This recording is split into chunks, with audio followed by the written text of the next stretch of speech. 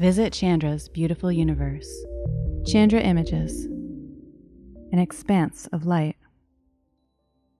The recent launches of the James Webb Space Telescope and the Imaging X ray Polarimetry Explorer, or IXPE, by NASA and its international partners, are excellent reminders that the universe emits light, or energy, in many different forms. To fully investigate cosmic objects and phenomena, scientists need telescopes that can detect light across what is known as the electromagnetic spectrum. This gallery provides examples of the ways that different types of light, from telescopes on the ground and in space, can be combined.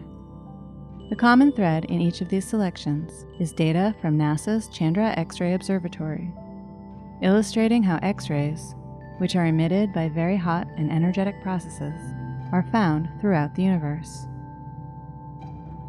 The collection contains objects ranging from a supernova remnant within our galaxy to an enormous galaxy cluster millions of light years away.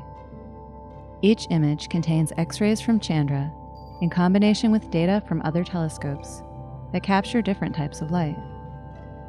The objects are the binary system R Aquarii, the supernova remnant Cassiopeia A, the Guitar Nebula and its pulsar, the galaxy cluster Abell 2597, and the NGC 4490 galaxy. In the coming weeks and months, we will hear much more about JWST and IXPE. It will be exciting to see what discoveries they make when their data are joined with those other telescopes, including Chandra, in exploring our universe.